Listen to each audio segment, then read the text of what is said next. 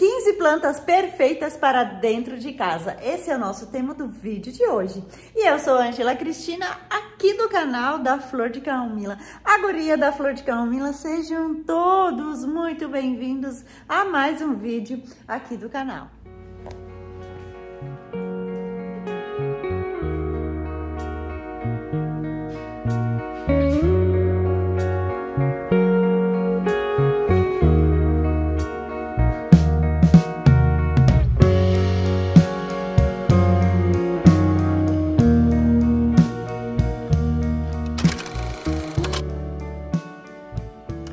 Primeira plantinha é super delicada, gente. Olha só como ela ficou bonita aqui nessa composição que é a jiboia prateada. Olha só como ficou lindo, gente. Coloquei uma tábua de madeira, olha só aqui. E aí eu coloquei o colar aqui que ficou maravilhoso, esse colar de mesa. Coloquei um cristal, coloquei uma vela e olha só como ficou lindo e delicado aqui em cima do centro de mesa. Essa daqui é a jiboia prateada, gente. Essa aqui é uma, esses vasinhos bem pequenos, assim, que eu acho muito fofo. Cabe em qualquer lugarzinho que a gente vai colocar. E é uma planta muito bonita. Conforme ela vai crescendo, ela vai ficando pendente, né? Você pode tanto cultivá-la de forma pendente, como de forma trepadeira, onde você coloca um tutor. Não pode regar demais. E olha só que coisa mais linda isso!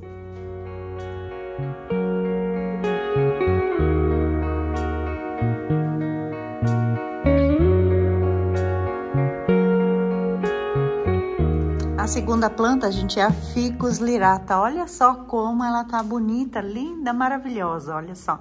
Ela é uma planta perfeita se você quer colocar ela assim próxima da janela, né? Que pegue bastante claridade. Aqui, inclusive, de tarde pega um solzinho.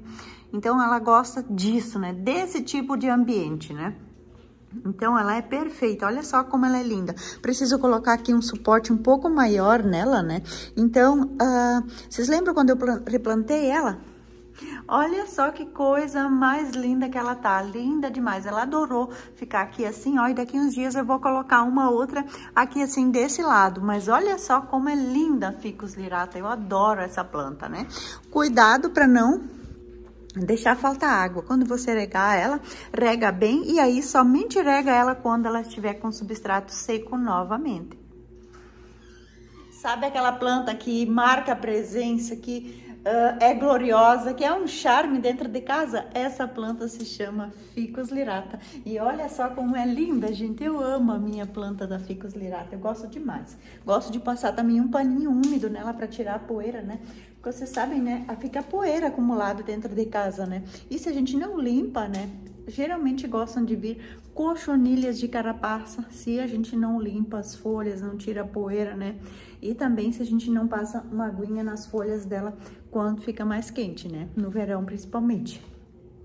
Quem aí ama ficus lirata, levanta a mão aí que eu quero saber. E para quem gosta de plantinhas pendentes e gosta de aquele ambiente colorido, assim, aquelas plantas que trazem todo um charme, sofisticação, né? Que são lindas de viver, que eu adoro, né, gente?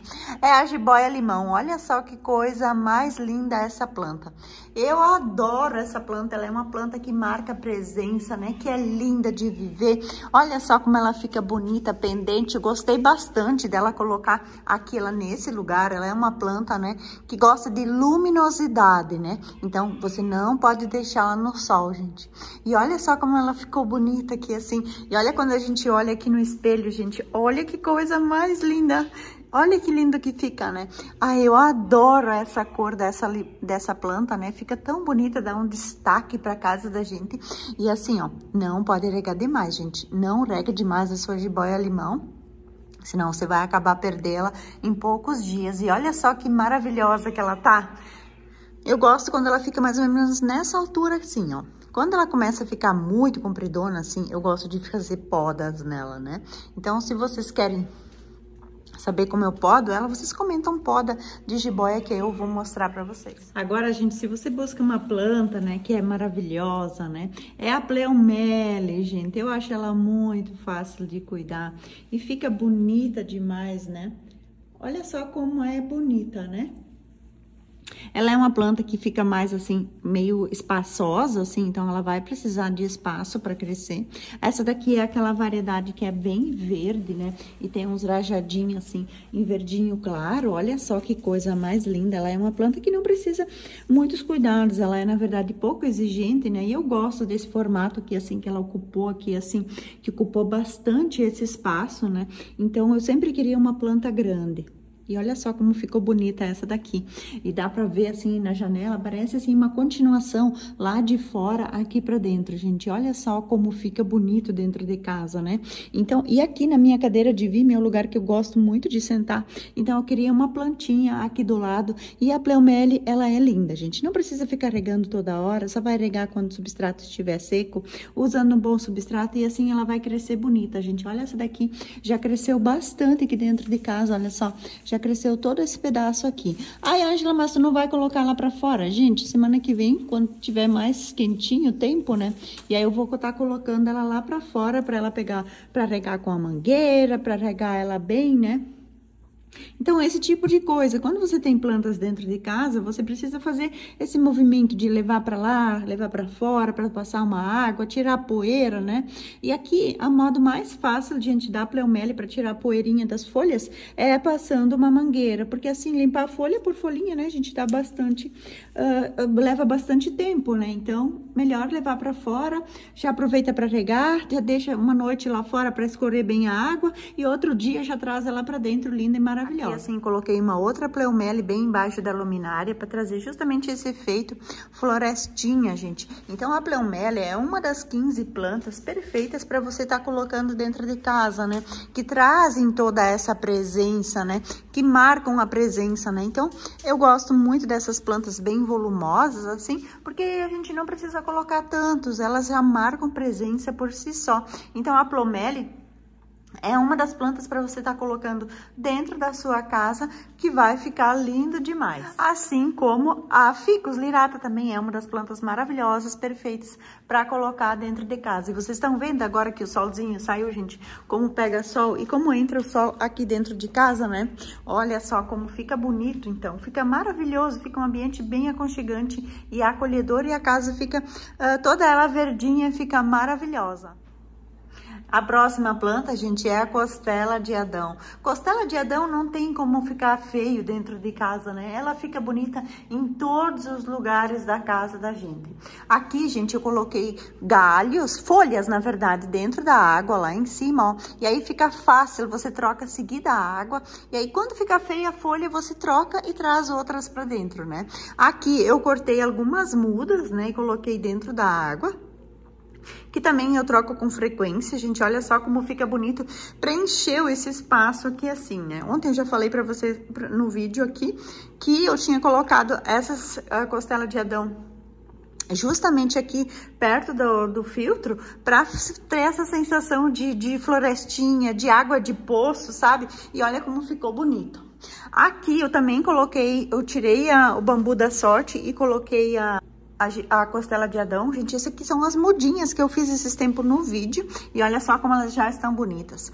Lá em cima, gente, eu coloquei um outro vaso de costela de Adão. Esses dias eu tinha colocado uma muda, né, no vaso plantada, mas acabei trocando e colocando uma, um galho de costela de Adão no vaso, porque aí ela fica mais alta, assim, mais preenchida. Amanda virou a, o vaso, né, e olha só como fica bonito. Então, a costela de Adão, gente fica bonita em todos os lugares, né? Aqui eu coloquei também, olha só, na água, e olha só como ficou bonito, ó. Algumas são folhas cortadas e outras são mudas mesmo, gente, que eu coloquei aqui pra, quem sabe, depois, mais tarde, plantá-las lá fora no meu jardim, né? E assim, quando vai ficando feia as folhas, lógico, como tudo, né? Essas que estão somente na água, eu vou trocando e vou colocando outras, né? Aqui em cima coloquei mais algumas flores desidratadas, né? E olha só como ficou bonito isso! Ficou lindo, né? Então, a costela de Adão é uma planta perfeita, pra, é uma planta volumosa, bonita. Eu ainda queria colocar uma bem grandona, bem aqui assim, gente. Eu ainda vou fazer uma muda bem grande e vou colocar aqui assim em cima. Também pensei em plantar num vaso mais baixo, assim, porque a costela já não gosta de ficar muito alta, né? E aí eu pensei em plantar uma aqui. Vou fazer isso e eu vou mostrar pra vocês. Eu acho que vai ficar bonito. Outra planta, né, gente, que não podia ficar de fora são as samambaias. Eu adoro samambaia. Samambaia é aquelas plantas de vó, né? Antigamente se usava muito, né? Da década de 70, 80, né? 90 por aí. Depois... As pessoas não queriam mais porque as pessoas chamavam uma de outra de planta de vó e aí você tava cultivando plantas de vó, né? E eu gosto bastante, gente. Coloquei essa uma aqui, ó e olha só como ela ficou volumosa, ficou bem cheia. E aí também a escada também não fica tão pesada, né? Eu acho que eu tirei uma planta daqui, gente, levei lá pra fora, né? Aqui, então, a samambaia, essa daqui é americana. Olha como ela fica bonita. A samambaia, você só precisa tomar um cuidado, né? Dois, na verdade. Ela precisa ter espaço para ela crescer. Ela não gosta de ficar próxima, assim, do teto, né? Onde você vai colocar o próximo da parede, que ela vai ficar feio. E manter o substrato úmido. Ela gosta de bastante umidade. Quando começou a ficar muito seco o substrato, ela já não gosta e ela começa a ficar feia, né? E fazer a manutenção. Sempre vão surgir aquelas folhinhas secas, assim, mais por baixo, né? Então, a gente precisa fazer o quê? A manutenção para elas ficarem bonitas por muito mais tempo. Uma das plantas também que eu acho muito linda, gente, e é uma planta muito antiga e muito pouco valorizada, na verdade. As pessoas não dão bola pro pau d'água, mas olha só que coisa mais linda. Coloquei ele pra cá, aqui assim, pra preencher um pouco aquele espaço, né? Bem aqui assim, acho que eu vou empurrar ele um pouquinho mais aqui pra cá. Coloquei aqui atrás do cabideiro, gente, pra ele ficar bem aqui assim. É uma planta maravilhosa, né? Então, essas plantas simples, bonitas, que não tem muito perengue para cuidar, gente, que não são tão enjoadas, elas são perfeitas para você estar tá colocando dentro de casa, né? E olha que coisa mais linda essa daqui, maravilhosa. Ela só pode ser colocada dentro de um galho dentro da água, como no chão, plantada na terra. Aqui eu plantei ela no chão, gente, não o vaso, dentro no substrato. E olha como ela tá bonita, é uma muda que eu mesma gente, fiz. olha só como a casa tá bonita, cheia de plantas, toda ela decorada, hein? Agora, eu vou contar para vocês que essa parte da casa agora eu abri para loja também. Então, as pessoas que entram aqui na, na, na, loja, né? Elas podem ver também essa parte da casa. Olha só que bonito isso, que interessante, né, gente? Elas têm acesso aqui porque aqui também é uma casa Botânica Flor de Camomila, que também faz parte, então, da loja agora. O que, que vocês acharam? O que, que vocês acham de fazer um tour, gente, aqui pela loja? Comentem tour pela casa, que aí eu vou estar tá fazendo esse vídeo, se vocês querem esse vídeo mostrando de tudo, um pouquinho, toda a casa, agora que tá com essas alterações que estou fazendo. Tô mudando hoje, inclusive, lá na loja, algumas coisas para casa, para o espaço ficar mais organizado, mais bonito. E eu gosto muito desse movimento de trocar coisas. Assim como eu troco também lá na cozinha. E às vezes, né, gente, eu às vezes nem compro outra coisa, só muda um pouco de lugar e fica bonito também, né? A minha mãe tinha muito disso. Ela sempre dizia assim: "Ah, vamos trocar os móveis de lugar porque dá uma outra energia e muda a energia e muda mesmo, né? Vocês também mudam as coisas de lugar, gente. É muito importante a gente estar em constante movimento, né? Isso faz bem pro nosso ego, faz bem pra nossa alma, né, gente? E é muito bom a gente fazer essas pequenas coisas que fazem a diferença na vida da gente. Agora, gente, vou mostrar para vocês uma planta que é maravilhosa, que é linda de viver, né? Que é muito linda. São as espadas de São Jorge. Aqui na escada, gente, eu coloquei um vaso de cada tipo. Olha só aqui. Então, coisa mais linda que tá um pouco ralinho, porque eu coloquei poucas mudas dentro de, mudas dentro de cada vaso, né? Essa amarelinha aqui é a espada de Santa Bárbara, que eu gosto demais. Ficou ou não ficou bonito, gente, aqui? Essa escada com essas plantas aqui. Eu adorei, gente, olha só. Simples, fácil, prático de cuidar, tem a luminosidade, ficaram bonitas, né? E espadas de São Jorge ficam bonitas em todos os lugares, né? E é uma planta muito fácil de cuidar, perfeita para quem está começando e para quem gosta de plantas aí também.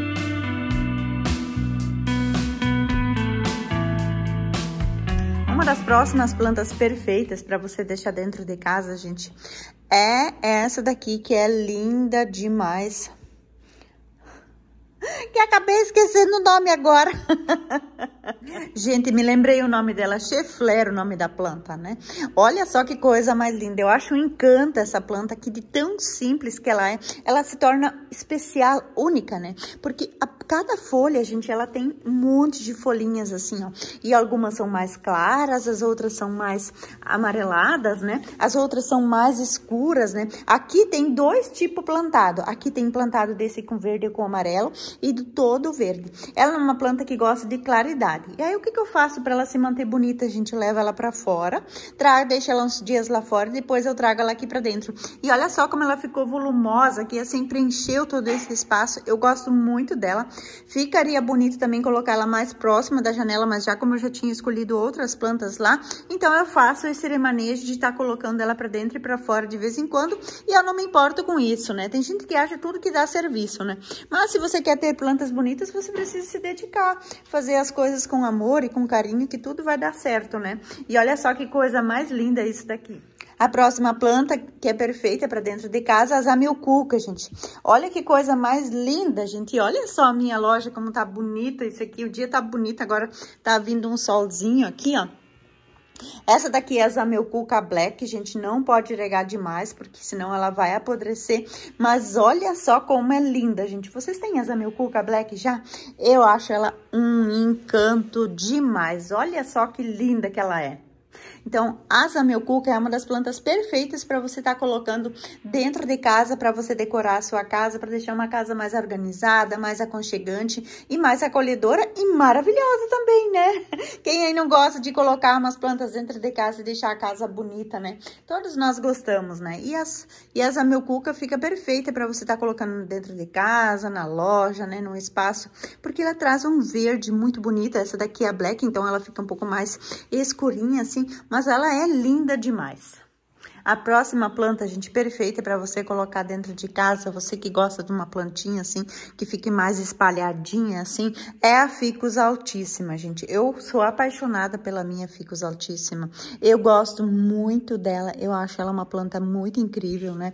Ela é maravilhosa, ela tem esses veios assim, bem demarcados assim na folha, que fica lindo demais. Essa daqui, ela tá cortada em uma parece uma copa, né? Aqui em cima ela tem só o tronco e aqui em cima ela tem vários galhos que eu acho que fica muito bonito, fica um charme bonito, né? Ela é uma planta, gente, que precisa de um pouco mais de espaço, né? E eu gosto tanto dela, eu acho ela maravilhosa e ela preencheu bem aqui esse espaçozinho que eu queria aqui embaixo da escada, né? E atrás do sofá. A próxima planta, gente, perfeita para dentro de casa é uma das plantas pendentes que eu tenho aqui, que é o Philodendro Rio, gente. Essa planta maravilhosa maravilhosa aqui, olha só.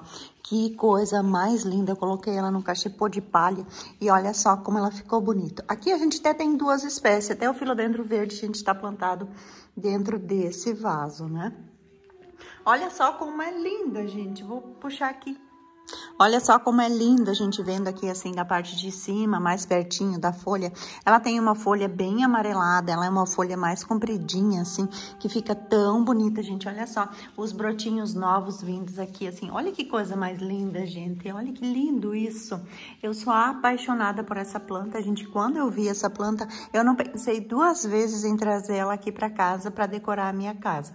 Então o Philodendron rio é uma das plantas perfeitas para você ter dentro da sua casa. E eu gosto desse efeito de, de misturar plantas pendentes com plantas, né, assim no chão, né, que ficam bonitas, que traz essa volumetria, plantas maiores, né, no caso que nem lá atrás também a samambaia amazonas, né, a ficus lirata, olha só que vendo daqui de cima, como fica bonito, olha só, lá atrás também a pleomele, né, Olha só, então fica tudo bonito, fica tudo lindo demais, né? Aqui também a gente já tá do alto, né? Pode ver então a decoração lá da cozinha com as costelas de Adão, né? Como fica perfeito aqui assim, então esse ambiente decorado com a planta e deixa uma casa aconchegante e acolhedora com muitas plantinhas que deixam a casa bonita, né? A próxima planta, a gente, é a jiboia variegata. Olha que coisa mais linda. Eu replantei ela, gente, e trouxe ela para deixar ela aqui nesse lugarzinho aqui, assim, ó. Ela gostou tanto, ela adorou tanto, e é, isso é uma das coisas muito importantes também pra gente estar tá observando na casa da gente, onde coloca a planta, se a planta gosta, né? Muitas pessoas eram no cultivo das plantas porque coloca a planta num lugar, porque dizem para ela que ela precisa deixar aquela planta no lugar e ela vê a planta definhando a cada dia e segue as instruções da outra pessoa, né? Então, gente, é muito importante, como eu sempre falo para vocês, a observação da planta. Se a planta tá gostando daquele lugarzinho, né? Ai, Ângela, posso colocar ela no sol, que ela é uma planta que tem variegação? Não, gente. Jiboias não gostam de ficar no sol. Claridade, assim, olha só. Vocês estão vendo como ela tá nesse ambiente aqui, ó? E olha como ela tá bonita, gente. Brotinhos novos aqui, aqui também, né? Aqui também ela já cresceu, né? Então, logo depois que eu replantei, eu reguei ela e eu ainda não reguei ela, gente. Já faz bastante dias que eu não reguei. E olha só como ela tá bonita. Excesso de água, gente. Lembram do vídeo lá que as plantas que odeiam água, que eu vou deixar o cardzinho aqui para vocês olhar, gente, aquele vídeo. Quem aí tem a mão pesada e gosta de regar a planta demais e acaba perdendo, gente, dá uma olhada nesse vídeo que eu vou deixar aqui para vocês que são plantas que não gostam de água. Ai, Angela, mas nenhuma planta vive sem água. Eu sei, né, gente? Mas se você regar ela demais, ela vai apodrecer. Então, dá uma olhada nesse vídeo aqui 13 plantas que odeiam água para você saber e entender por que você está perdendo as suas plantas. A próxima planta linda, maravilhosa, um espetáculo de bonita, fácil de cuidar, né, gente? É a jiboia, aquela verde amarelada. Olha só que coisa mais linda isso daqui. E ela gostou aqui, gente. Essa jiboia, ela tava pendurada aqui na escada. E aí, quando eu comprei as outras plantas aqui para escada, eu resolvi colocar uma aqui, porque eu queria uma que ficasse mas combinando assim, ó, no comprimento, assim também. E essa jiboia que eu já tinha, porque eu não achei nenhuma grande já, do tamanho que eu queria. E essa ficou perfeita, até deixei ela dentro do cachepô tudinho, maravilhoso para ela ficar aqui. Então, a jiboia é uma planta perfeita. É uma das 15 plantas perfeitas para você estar decorando a casa. E olha só que coisa mais maravilhosa. Eu sou apaixonada por jiboias pela facilidade de cuidar, que são plantas bem práticas, né? Que ficam lindas, né? Olha que coisa mais linda, gente. E quando ela começa a ficar com uma altura muito comprida, gente, eu faço poda nela porque ela fica com a folha muito pequenininha, né? Então, gente, sempre é bom deixar mais ou menos o tamanho assim, ó, que aí ela tá perfeita. Quando fica muito compridona, assim, geralmente ela fica com as folhas menores e aí fica feia, né?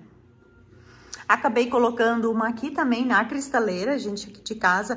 E olha só como ficou bonita, né? Essa daqui coloquei ela num cachepô. Eu quero que mais tarde ela cresça assim, pendente aqui pra baixo. Gente, olha aqui, a galinha picou, eu tive que cortar o galho. E olha só, já tá vindo um brotinho aqui, ó. Olha que coisa mais guti-guti, né? E ela gostou bastante desse lugar aqui, então vou deixar ela aqui assim pra ela ficar pendente aqui nesse lugar. E eu sou apaixonada também por esse móvel antigo que ficou muito bonita aqui na decoração de casa, né? Então, a jiboia é uma das 15 plantas perfeitas para você estar tá colocando dentro de casa. Outra planta perfeita para você colocar dentro de casa, gente, é o bambu da sorte. Esse daqui eu trouxe para fora essa semana porque eu fiz uma troca, levei a a ficus lirata lá para dentro, gente. Então, eu trouxe ela aqui para fora um pouco. Eu quero fazer um vídeo para vocês falando sobre como fazer novas mudas. Se vocês querem esse vídeo, gente, vocês comentam bambu da sorte aqui para mim saber se vocês querem esse vídeo, né? Então, o bambu da sorte, ele pode ser tanto cultivado no vaso, esse aqui eu já tenho 15 anos, como também na água, né? Na água, você precisa trocar com frequência a água, porque senão ela fica feia, né? Então, e também, além de apodrecer, também faz com que mosquitos surgem, né? Então, é bem importante fazer a manutenção da água. Então, o bambu da sorte é uma das plantas perfeitas também para você estar tá colocando dentro da sua casa. A próxima planta linda, maravilhosa, que todo mundo ama, gente, são as Peperomia scandens. Olha que coisa mais linda, gente. Essa daqui tá bem cheia. E pasmem, gente, eu fiz tudo isso daqui mudas com a galinhas e olha só como elas estão cheias, né? Olha só, aqui tem um vaso novo que eu fiz, olha só aqui também, olha só como elas estão bonitas aqui fora. Então, essa daqui também é uma das 13 plantas que odeiam água, gente. Se você quer ter uma peperomia scandens bonita, uma das coisas que você precisa entender é regar pouco Regar pouco que eu quero dizer, rega espaçada. Rega uma vez e aí depois só rega depois quando o substrato estiver seco, gente. E muito cuidado também com o substrato, porque aí você vai, se ficar muito encharcado, ela vai acabar apodrecendo e você vai acabar perdendo. Então a Peperomia Scandens é uma das plantas perfeitas para você colocar dentro de casa. Gente, vocês viram que eu mostrei 15 plantas perfeitas para vocês estarem decorando a casa de vocês, né? E para elas ficarem perfeitas, gente, assim como essas, uma das coisas muito importantes, além de todo o cuidado que eu acabei de falar para vocês, é o substrato. É muito importante vocês usarem um bom substrato para as plantas. E cada variedade de planta, né, tem uh, necessidades diferentes, né? Umas gostam de mais umidade e outras gostam menos de umidade. Eu criei um curso para resolver esse problema de vocês. O curso Substratos Sem Mistério, gente, eu vou deixar o link aqui embaixo. É um curso online onde eu explico de forma simples e fácil como que vocês vão preparar o melhor substrato para todas essas variedades de planta e parar de perder planta, porque vocês vão aprender, gente. O que ninguém ensina para vocês, eu ensino nesse curso, que é maravilhoso, é muito completo, gente, é fácil de entender e vocês vão poder assistir quantas vezes vocês quiser, tudo aqui no celularzinho para vocês facilitar a vida de vocês.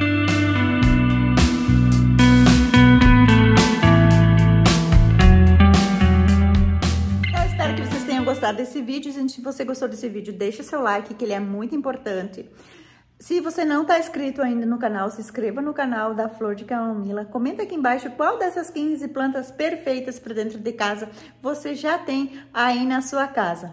Não esqueça, gente, de assistir esse vídeo que eu vou deixar aqui em cima, que é plantas que odeiam água. 13 plantas que odeiam água se você tem problema com regar demais as suas plantas. Dúvidas, elogios e sugestões, vocês comentam aqui embaixo. Um grande beijo da guria da Flor de Camila e um abraço do tamanho do Rio Grande do Sul. E eu vejo vocês no próximo vídeo. Tchau, gente! Fiquem com Deus!